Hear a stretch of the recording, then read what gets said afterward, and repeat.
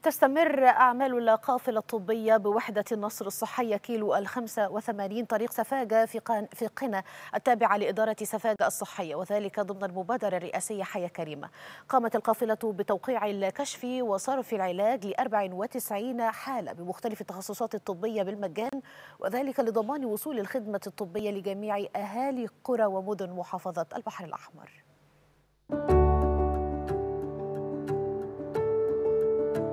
في إطار مبادرة حياة كريمة بيتم انطلاق اليوم الثاني من مدينة سفاجة بقرية النصر مجهود رائع بيقدمه كل فريق قوافل محافظة البحر الأحمر.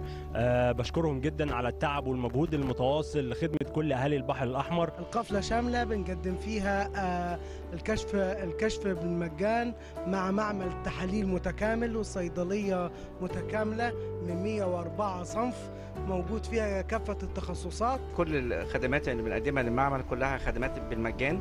تبع مبادرة حياة كريمة.